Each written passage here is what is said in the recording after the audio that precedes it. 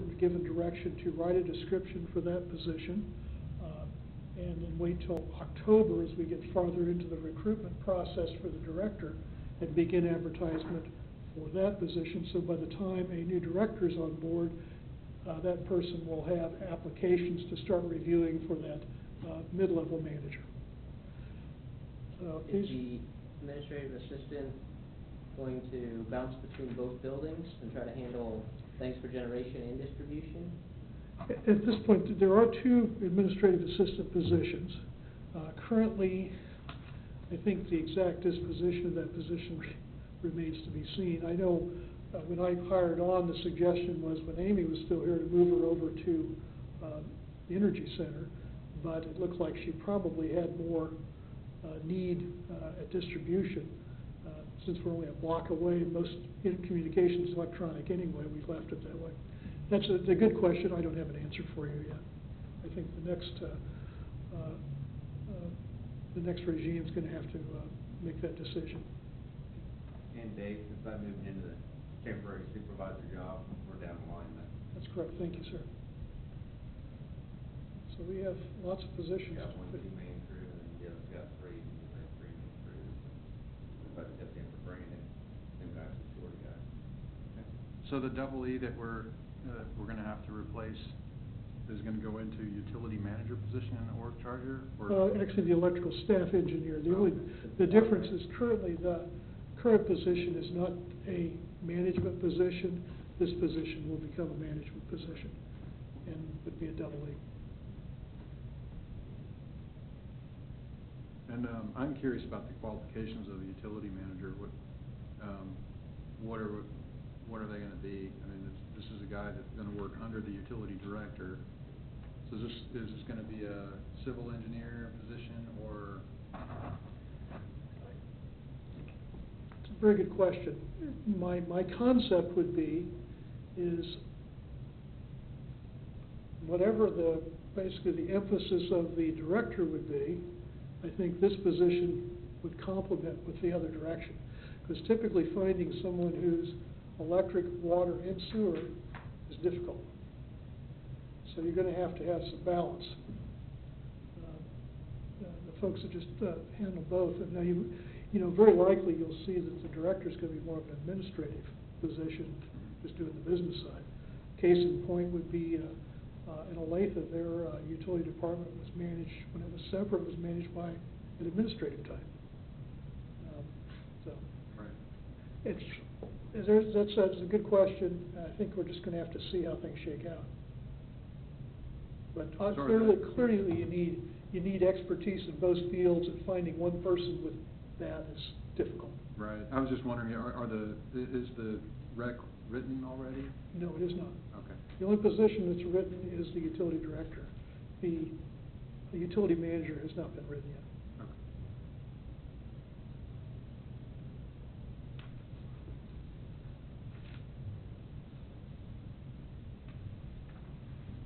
Any other questions, comments?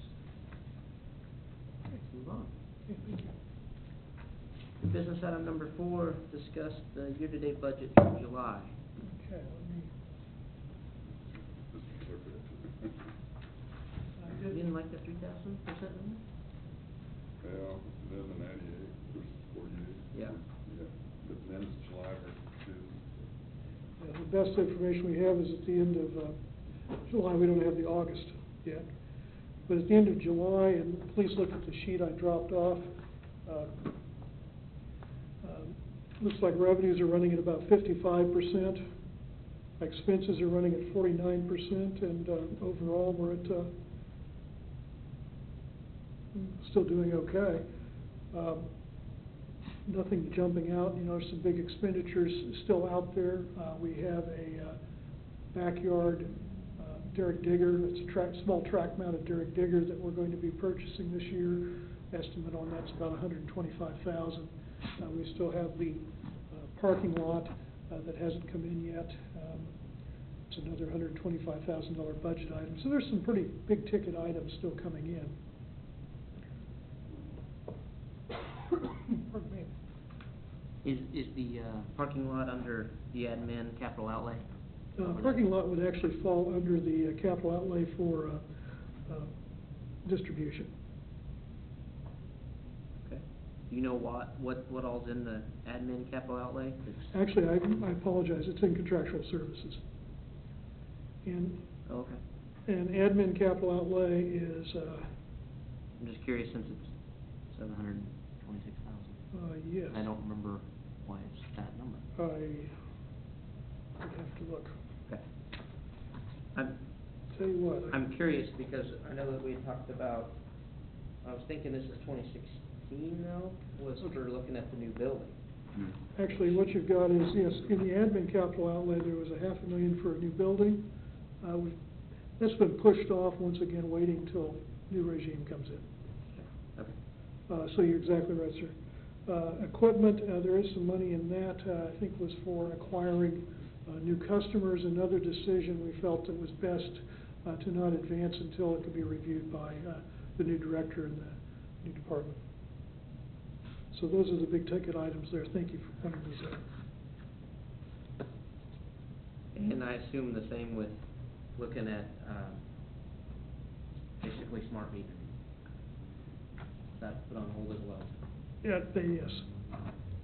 I think, uh, based on our discussion with Greg last week, I think you're gonna see that rising up as a part of that IRP though. Right. Because that's a, uh, a great technology for conservation. Okay. One of the things with smart metering is just going to have to conform, get something that conforms to the, uh, water meters also, since they're trying to have a common, I know there's some issues there as far as making the water and electric, you know, all work together. Sustainable technology. Yes. A standard. Right. Other questions, I comments? have questions on the revenues, Dave. Okay, Um, I I don't, I'm kinda lost on that. I see June compared to July. I see intergovernment sales up three thousand percent. I mean, oh, okay, there's an error, there. you look on the, this, this, the second. oh, we one. got, oh, okay. I didn't see the new one. Oh, that looks much better. Yes, no, there was, the, the one that was originally submitted to you, they're gonna, Okay. further review was caught today and Okay. revised. That looks, okay, I'm good with that. I didn't know it was hiding under my sheet, didn't realize it was there. Okay, no Any question. other questions, comments? All right, moving right along. Okay. Let's go to project update. I, I, the only thing I would say, that's June, June to June or July to July? Because on that new sheet, it still says June to July. So, I assume that's supposed to be June, I'm July, assuming that two thousand thirteen. June because it's forty-three percent on the old. Yeah, I'd say it's, Okay. it's a twelve month It just, period. yeah, that column doesn't look like it's been updated. Okay. Project updates. Okay.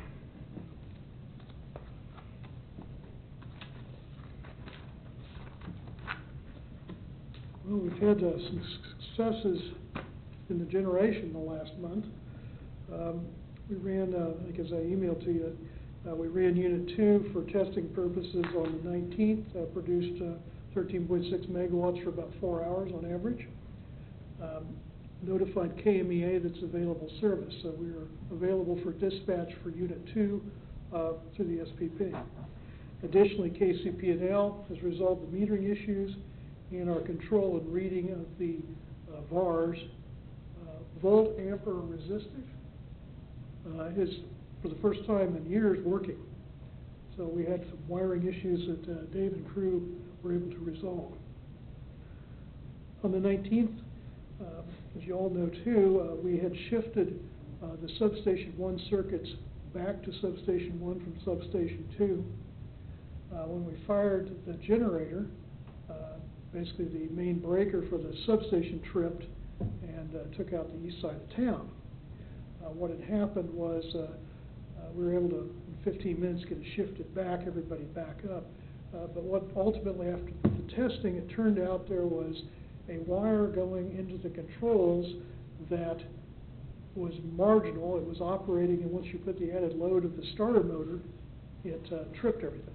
So, Fortunately, it was not a transformer problem, it was merely a wire that